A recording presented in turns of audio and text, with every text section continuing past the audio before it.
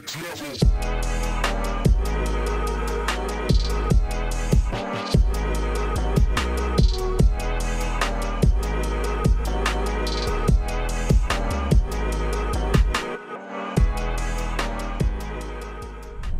Alright guys, Kirk here back with another episode. Thank you guys for tuning in once again. And as you guys can see, I'm not in my typical setting. Deciding to change things up a bit. Just shooting in new locations, experimenting with different backgrounds and giving you guys more new content. So today, as you guys can see from the title of the video, we're going to be talking about a new modification that I did to the M2. Now some of you may have seen this in the previous video when I did the installation for the lowering springs and that has to do with the interior of the car. And for those of you who don't know, I'm talking about customized seat belts from Safety Restore. Now for me, I'm all about adding small details and this one is no exception. I wanted to make modifications to the interior of the car that are going to bring out the overall personality and because the car does have an all black exterior and interior, I thought this detail was going to give it a nice addition to everything that I'm planning to do. Now, for those of you who don't know, Safety Restore is an online mail-in service that primarily focuses on three main areas surrounding seatbelts. First one being seatbelt repair. They have a custom webbing replacement service and they're also able to reset the airbag modules on your car. Now, the ordering process was pretty straightforward. They do have an online website. I was able to just go online, select the service that I wanted and put my order in. Now, the service will take you a few days simply because you're to have to take the seatbelts out of your car, ship them out, and have them do the service. From then, once they receive your seatbelts, they have a 24 hour turnaround time, and then from there, they're to mail it back to you.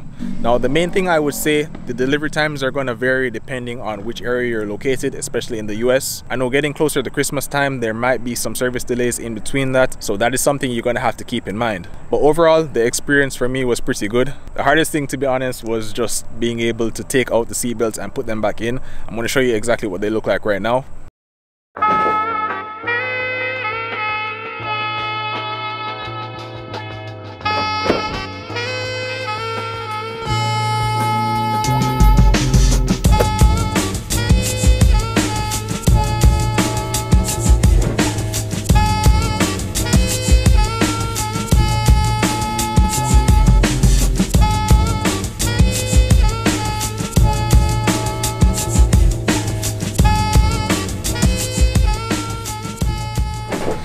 Right all right here we go.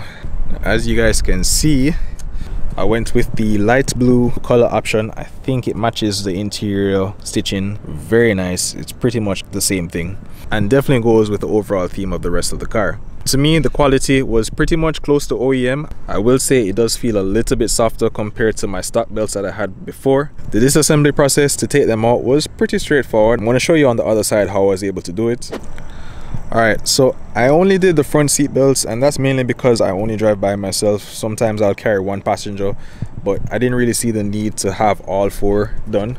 Now to take your stock seat belts out, the process was pretty straightforward for the most part. It's held in by a bolt on the base and then the process has to continue by you removing out the inner quarter panel. From there, there are going to be several bolts connected to the top of the seat belt that you're going to have to pull out as well as some clips. Now the quarter panel trim is held in by a few clips on the both on the top and also the side. You're gonna have to take your time in removing them. I didn't want to break any clips and have any fitment issues when putting them back in so i made sure to take my time. Use a couple trim tools to remove it as well. And also in order to get out everything you're going to have to pull down your back seat. For us we had to take out the base of the back seat as well as pull down the top portion. From there everything pretty much slid out very easily. I will say this before you do attempt it please make sure that you disconnect your battery ensuring that you don't have any issues with taking the seatbelt out and putting it back in. So make sure that's something that you take care of. Now from there the process is pretty straightforward. Once you get the seatbelts taken out i will say however when you're packaging up the seatbelts please make sure that you put a note inside the package now that was something i didn't do unfortunately and that caused a slight delay in getting my seatbelts taken care of. With a note please make sure that you're putting in your name the mailing address that you're sending the belts back to as well as a small description of your order and also your order number. Yeah once we got the belts back it was pretty easy to put them back in. It, we simply had to just reverse the process that we took them out in. That one was actually way quicker to do to put them back in than to take them out. Um, i didn't have any fitment issues. Again you may need to make sure that your battery is disconnected when doing so. And as you guys can see the overall finished product is pretty good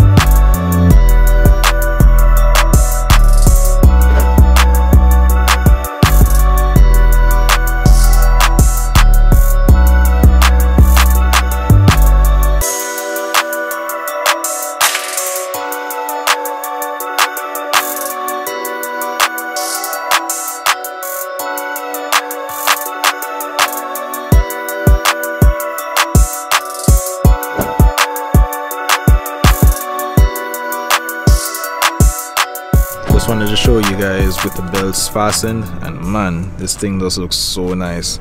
I think it really complements the interior simply because there's not a lot of color in general going on in the inside. You know beyond the stitching it's pretty much all black. And for me being able to see this especially from the outside look at it right now. Thing looks perfect all right so we're back inside the car. I figured i'd just give you guys a quick view of what the belts look like with me strapped in. As i mentioned before it's super soft you know feels really nice especially when i'm strapped in but does feel very durable and sturdy. I don't really have any complaints as far as the comfort level is and as i mentioned before the light blue color option for me personally i prefer it. I really think it gives a nice pop of color especially in the interior.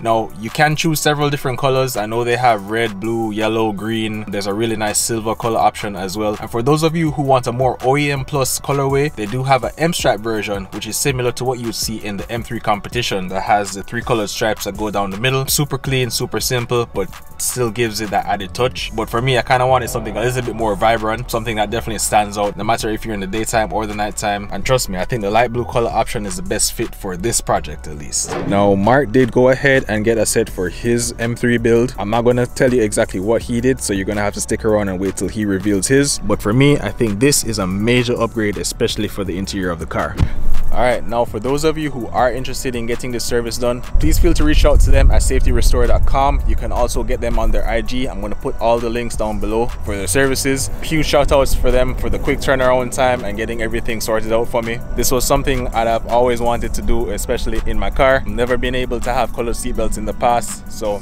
being able to put them in right now and seeing the end result trust me 10 out of 10. If you guys are interested in getting this done on your car, they pretty much work with any manufacturer you can think of. BMW, Mercedes, Toyota, Honda, you think of it, they can do it. Again, I will say in order to make sure that there aren't any delays in your orders, please make sure to have all the notes and instructions that you need for them to do inside the package when you mail it off. Yeah, but honestly, that's pretty much going to wrap it up. This was just a quick vlog just to kind of highlight this modification. I know a lot of you guys would probably be interested in doing it to your car as well. So if you guys have any questions, feel free to ask me or feel free to reach out to Safety Restore as well. Now, if you guys did like this modification, make sure to smash the like button. Make sure that you guys are subscribed to MotoGear TV.